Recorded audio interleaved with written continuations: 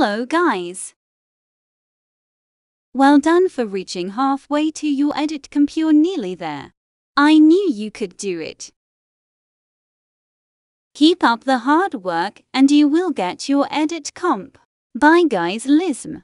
Have an amazing day.